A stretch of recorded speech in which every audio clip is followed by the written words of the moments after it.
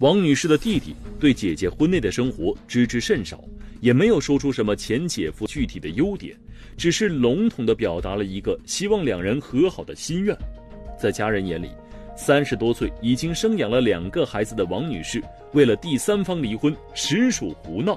所以，问及王女士的新感情，弟弟表现出了反感。李先生明显跟前妻的家人站在一边，他也强调。前妻和现男友根本不让人看好，那边不可能有结果，始终坚信，现在还坚信，年纪相差八九岁，我说也不可能是真爱。王女士的现男友没有结过婚，还比王女士小了七八岁。李先生一寻思，他要是这前妻现男友的家人，肯定不能同意两个人在一起，所以他找到了男方的家人，希望他们棒打鸳鸯。找到了男朋友的。姑父的电话，我说我是是他的前前夫，我说跟你的那个侄子有个纠缠不清的关系，他说我这边是不可能同意的，他我家里坚决反反对。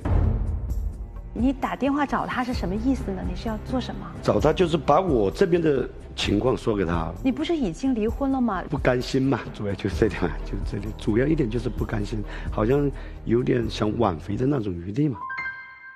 他把我所有的，包括忧郁症的那些病例，全部发给他家人看了，就是说我不健康，家人看到这种情况肯定是不允许。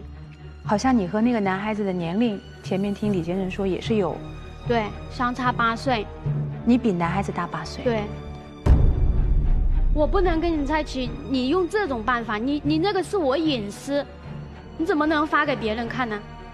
那他做的很多事情，我都能看得到，他真的是一个人品有问题。王女士对于前夫李先生的行为很鄙视，她无法通过光明正大的方式让他回头。背地里联系现男友的家人，暴露他的隐私，就是人品有问题。这样做只会让他对前夫更加反感。李先生这样的行为还激起了一个人的愤怒，那就是前妻的现男友小罗。很快的，小罗给李先生打来了一通电话，可就是这通电话的内容让李先生坚定，小罗并不是一个值得前妻托付的好男人。她的男朋友给我打电话。他说：“你打电话骚扰我家庭啊？”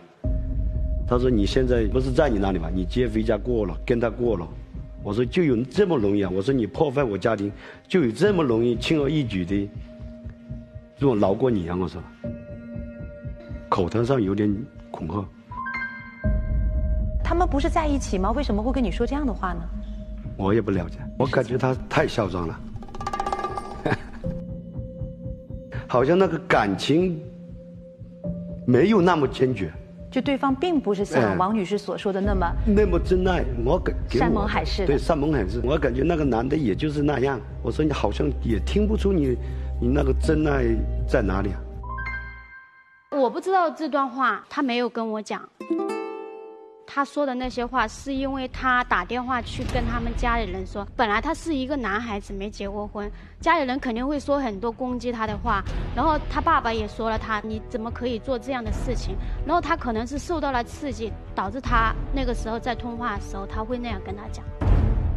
那个男孩子跟他家跟他爸爸就是口头上就是断断绝了关系啊。他好像他最早找的是找的是他姑父对吧？本来是买了那个。货车在他姑父那里拉活，然后因为这个事情，他把车也卖了，没干了。因为他很明确的知道，如果我在他在他姑父那里上班，就不可能跟我在一起。所以这个男孩子为了你，工作也没了，对，跟家里人也闹翻了。对，我感受到了，他就是真的想跟我在一起吧。